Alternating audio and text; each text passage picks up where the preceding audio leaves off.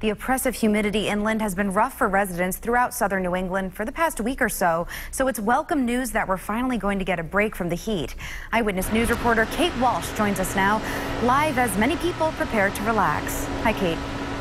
Hi, Julianne. We are live along the East Bay bike path here in East Providence, overlooking Providence, and definitely some noticeable signs of changing weather on the way. It's becoming very windy, and behind us, we can see some very dark clouds over the capital city. In the past hour, I've been teetering with putting my hood on and off because there have been raindrops at times, and they go away, they come back, they go away. Right now, it's dry, but the clouds are rolling in, and it's getting darker out here. Earlier today, we spoke with several people just looking forward to an end to this oppressive week of weather. An ominous sky, swirling gray clouds blocked the sun, but surprisingly did not cloud the moods of people out doing errands. Don't like the humidity. So are you looking forward to the storm? A little bit, yes. Not not the heavy rains and flooding, but the storm to get over. A little bit cooler, a little less humidity, hopefully.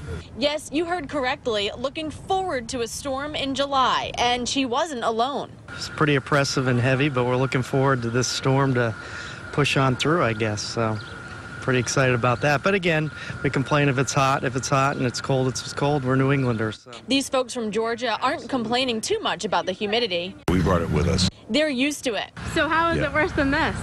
Well, uh, when you take the clothes out of the closet, if you don't have air conditioning, they're moldy. With that humidity at its breaking point Friday morning, bikers were out exercising before the rain, sailboats going for a final ride in the Providence River before that extreme weather hit. Shopping carts stocked with water and food to wait out the storm to wash away the humidity and bring back more comfortable air.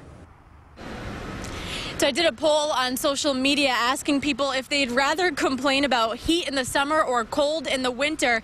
And as of noontime today, 47% said they'd rather complain about it being too hot in the summer. 53% rather complain about it being too cold in the winter. Live in East Providence, I'm Kate Walsh, Eyewitness News.